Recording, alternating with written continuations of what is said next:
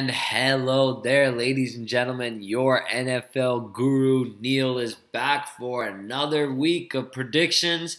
Let's just recap real quick. Week one went very well for, especially for my week one woes for the past couple of years. Week one, we started off strong, eight and five, so very good year. Called a lot of week, got to call a lot of good upsets. It went very well, but now the big one, we're on to week two, the week where teams can stay undefeated, stay without a win, or get to 500. How is it going to work? we'll find out soon. And I start right away with Thursday night football. We got the Texans at the Bengals on Deshaun Watson's birthday. You gotta go with those Houston Texans, even though they're on the road. That defense is gonna come through, and they're gonna beat the Bengals in this one. The Patriots at the Saints. Wow, wow, wow! I cannot believe the Chiefs upset the Patriots in Foxborough last week unbelievable game, fantasy game for the ages. That's for sure. If you had Gillislee or Kareem Hunt, wow, what a wow. I'm I'm just I don't even know what to say. It was unbelievable. But this week I'm gonna take New England to squeeze out the Saints in the Superdome by this little, but they're going to beat the New Orleans Saints in this one and get back to 500. The Bears at the Buccaneers. Buccaneers first game. Glad that everybody's safe in the whole Florida area, and I'm going to go ahead and take the Tampa Bay Buccaneers to win this one. The Eagles at the Chiefs. We got upset alert, baby. I'm taking those Philadelphia Eagles to take the red hot Chiefs out and send both send them to 500 while the Eagles go to 2 and 0. This is going to be a great game though. Mark my words, could go down to the last play of the game or last drive. The Vikings at the Steelers. I'm going to go with those Pittsburgh Steelers. They're looking very, very good. When all those guys are healthy, the Steelers are an awesome football team to watch. This, the Vikings also look very good as well. Stefon Diggs is unbelievable. I'm I'm speechless right now. He's he's very talented as well. But look for the Steelers to win this one. The Browns at the Ravens. Browns put up a fight against Pittsburgh, but look for the Ravens to win this one easily. All right, Bills at the Panthers. Got to take those Carolina Panthers to stay hot and start out 2 0. The Cardinals at the Colts, no Andrew Luck. That's an easy pick in the Arizona Cardinals. Titans at the Jaguars. The Titans put up a fight against the Raiders. They're a good football team. Look for them to come out and win this one at Jacksonville, who pulled off a shocker at Houston last week. The Jets at the Raiders.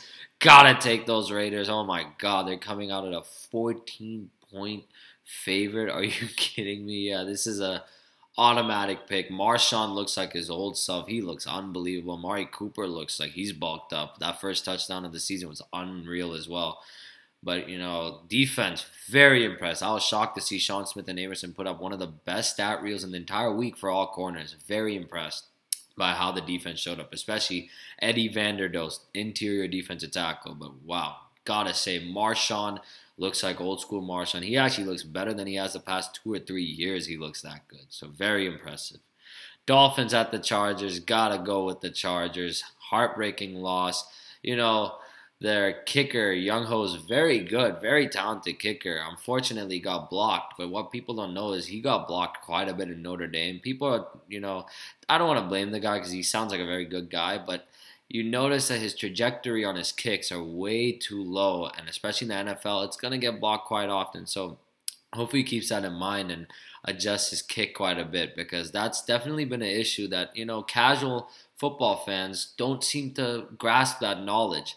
But you know, if you really analyze the game and look at the game, you notice that when you consistently get, get blocked in college football, it's going to pass on to the NFL. So find a way to fix that, and the Chargers can be a very good team this year. They're going to go and beat the Dolphins, who also have their first game of the year. 49ers at the Seahawks. Okay. First of all, apologies on my behalf for picking the Niners. Terrible mistake. Horrid mistake. Probably won't happen again. Definitely not when they're an underdog. It's not happening again the Seahawks win this one in a massive blowout. They come back and get back to 500. The Redskins at the Rams, those Rams look sneaky good, and they're about to start 2 0. They look like such a good football team. I was very impressed with the way they played. Look for the Rams to win this one with their strong defense and great play calling by Sean McVay. That offense looks good. Goff looks really good, especially Gurley. I was very impressed. The Cowboys at the Broncos. I'm going to take the Dallas Cowboys just because Denver cannot stop the run. They're good at stopping the pass, of course, with those corners, but they cannot stop the run. So look for the Dallas Cowboys to run wild with Zeke. Packers at the Falcons on Ooh, Sunday night, Sunday night football. And we're going to take the Green Bay Packers to upset Atlanta on the road. They're going to win this one. Their defense is looking a lot better this year, so look for them to come out hot and win this game and start 2 0 this season.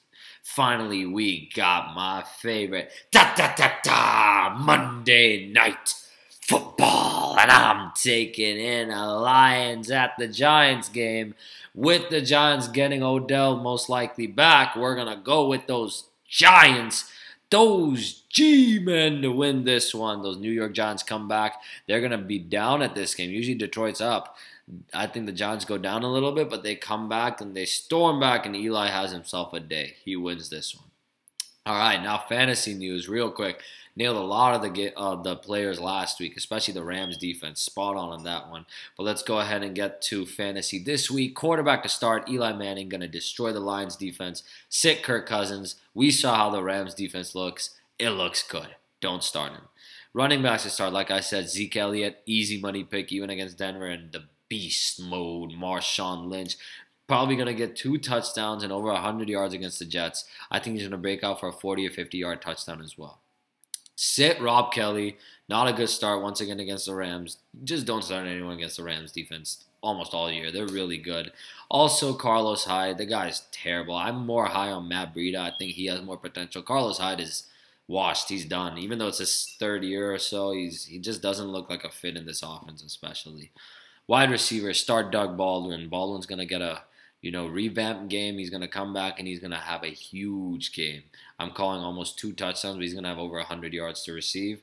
And Brandin Cooks, he always plays well against the Saints, especially in that dome. He's used to it, so look for him to have a great game. Sit Dez Bryant. He's going to match up against a lot of good corners in Denver. Not worth starting him. And sit Donte Moncrief. Until Luck comes back, we can't trust him tight ends to start.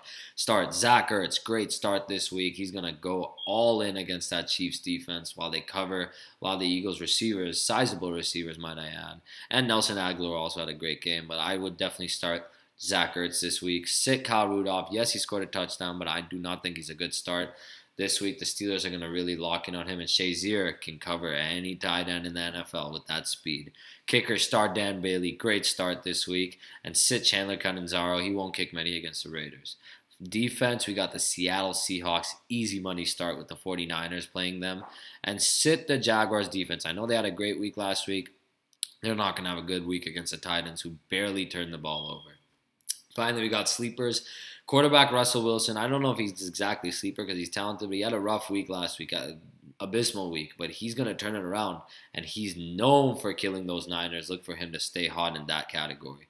Running backs to start, sleeper wise. Terrance West and Kerwynn Williams. West against the Browns. Kerwynn Williams, hey, David Johnson's out for a while. Go ahead and pick him up if you already haven't in the waiver wire. Wide receivers, Paul Richardson automatic start this week against the 49ers. He's going to have a huge game with plenty of targets. And DeVante Parker, been high on him all year. Look for him to have a huge game as well. Finally, we got tight end Martellus Bennett. He's going to show up against the Falcons and drop a touchdown, maybe even two. He's going to have himself a good game with Aaron Rodgers. So there you have it, folks. Those are my week two predictions. Nailed a lot of the week one predictions, especially calling the Broncos Chargers, where the Chargers would cover on the spread, but Denver would win as well. Huge bold prediction. Nailed almost every single game. You know, it went very, very well. A lot of upsets, though. But, you know, I nailed a few of those upsets as well. So it was a great week. Week two is going to be awesome. Stay tuned and let me know. Feel free to message me if you guys have any fantasy advice or pick 'em advice, survivor advice. I got your back. You guys have a good one and keep watching the NFL. Have a good one, guys.